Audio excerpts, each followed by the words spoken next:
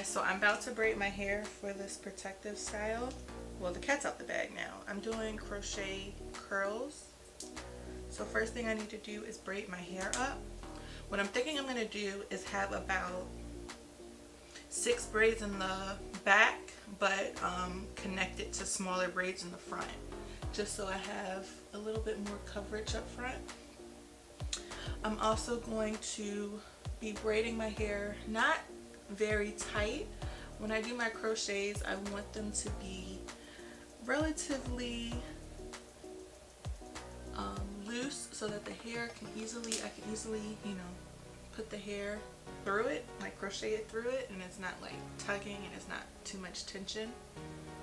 And I'm also going to leave out some of my shorter hair in the front and baby hair just so that I can have some hair to kind of slick down and push to conceal my braids. So that's what I'm doing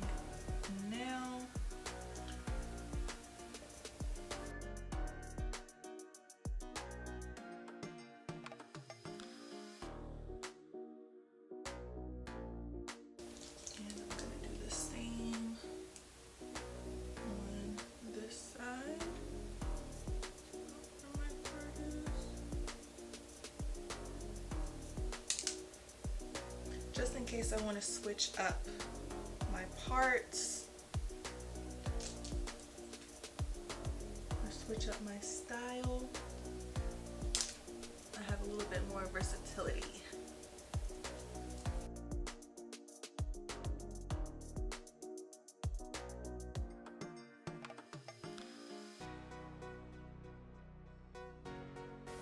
First, let me just share with you guys the hair that I'm going to be using. She's a little frizzy because I washed her. I decided to wash her. Um, the instructions that came with the hair as well as the reviews on um, I got this off of Instagram, not Instagram. I got this hair off of Amazon. The reviews and the instructions that came with the hair suggested that you wash it first before you install it. Sometimes when you use synthetic hair, they coat it with like different kinds of chemicals and stuff and so that kind of washes away some of the chemicals. And sometimes those chemicals can react and irritate your scalp and it just makes you want to take the hair out sooner than you would have wanted to. So that's why I washed it. Um, and it you know it added a little bit of frizz but it's nothing that's not realistic. So I wanted the style to kind of look realistic. The brown is a little bit lighter than my hair texture but this is I wanted ombre too and this was the only option I could find with ombre. Um, so yeah. This is my first time trying out this hair as well. So let's get started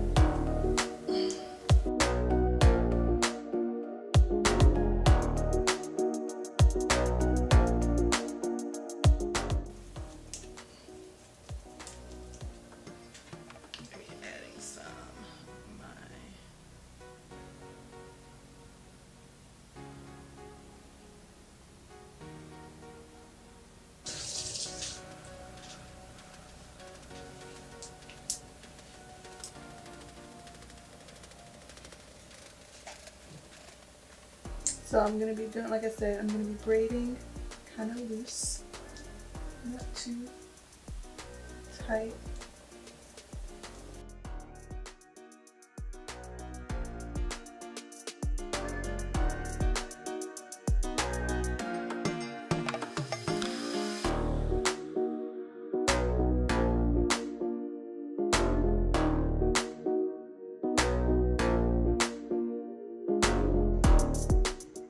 So when I do my crochets, I braid um, the ends of my previous braid into the next braid, which I will be showing you guys.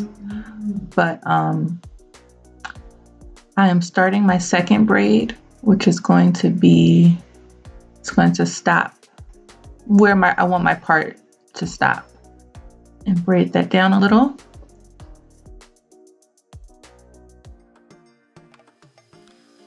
And then I'm going to start the next braid.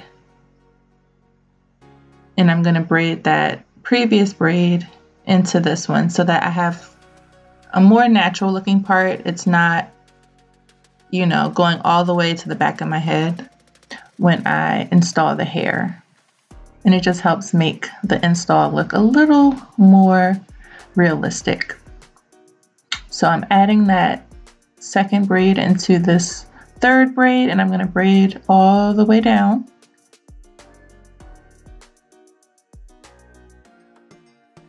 And when I get to maybe a three fourths of the way complete with this braid, I'm going to add the ends of my first braid up and in, up and into this braid.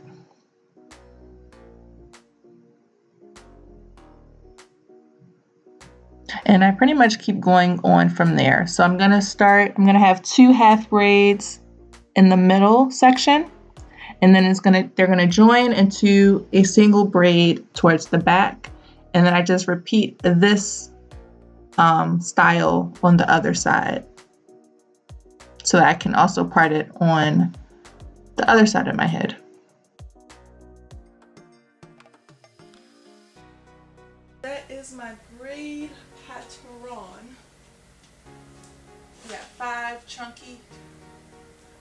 Chunky braids in the back and eight braids in the front to get a nice install. I'm excited. All right. Let's get into the install. So I have my crochet, crochet needle and I hook it underneath my cornrow with the latch closed and then you open up the latch, you hook on the piece of hair, close the latch once that's hooked in there securely.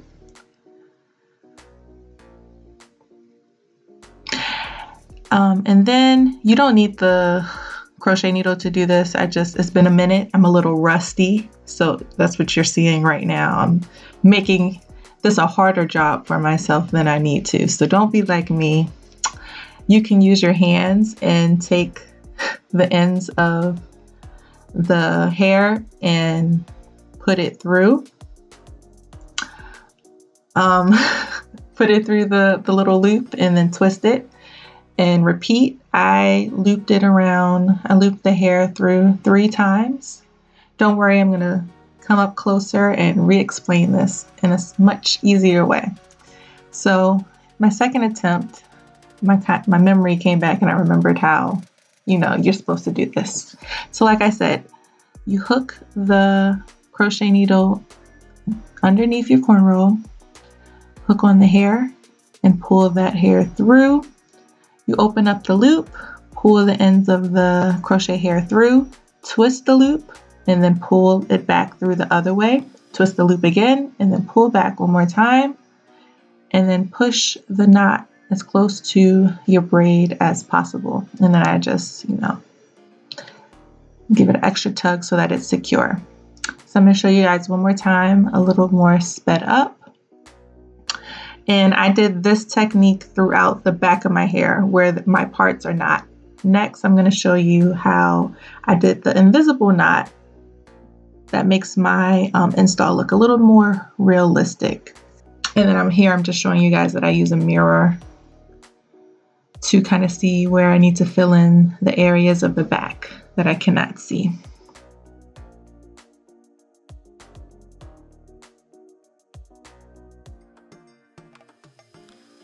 So here we are.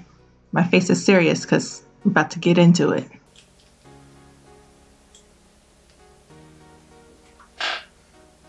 So basically you take the hair like you usually do. Attach it to the hook. Close the latch. Pull it through.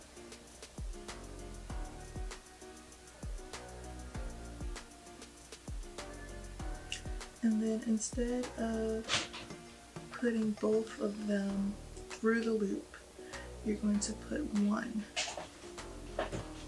strand. Cairo, what are you doing?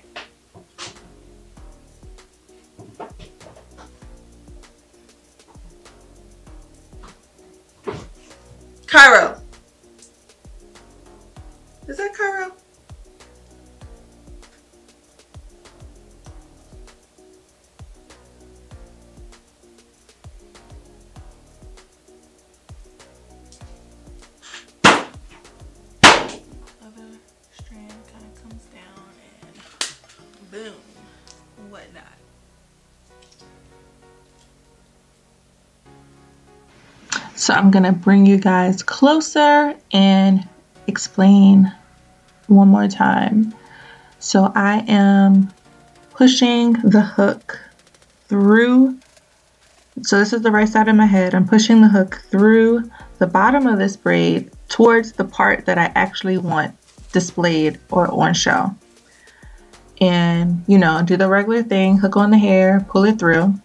And now the difference is instead of pulling through both strands, we're only going to pull through one strand. And I think I still loop it through about... Caro, why are you being so annoying? I loop it through about three times and then pull. And then that top strand is going to come over top and kind of conceal the knot. And then I just wanted to again show you guys coming from the other side of the part. So this time I'm going through the top of the braid. Again, I want the hook going towards the part that I want shown when you do the invisible knots. So on the so on the other side of the part, this is how you get the knot to be invisible on this side, if that makes sense.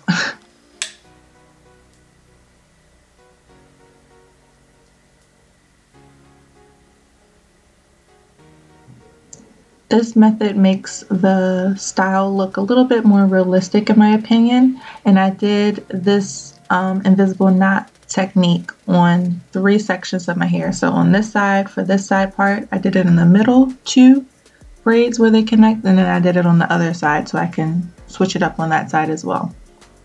And now I'm going to show you guys the final results. I wanted to show you guys what the middle part, what that looks like.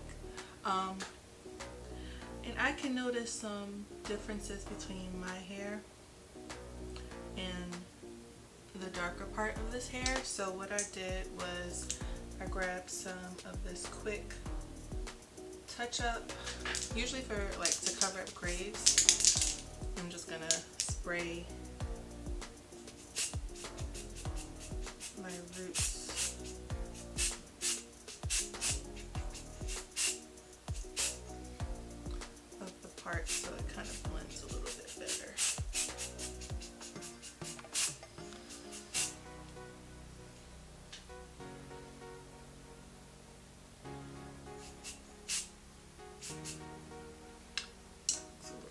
better to me. So that's the middle part. I think I'm actually going to wear the side part today. Again. I already sprayed that section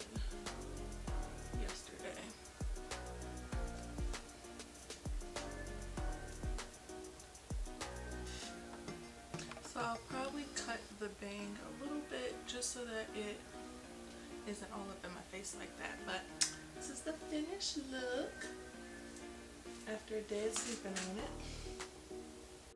I guess sis was so pumped that she got her hair done, she forgot to record the outro. So thank you guys for watching. Make sure you hit that subscribe button, and I'll see y'all in the next one.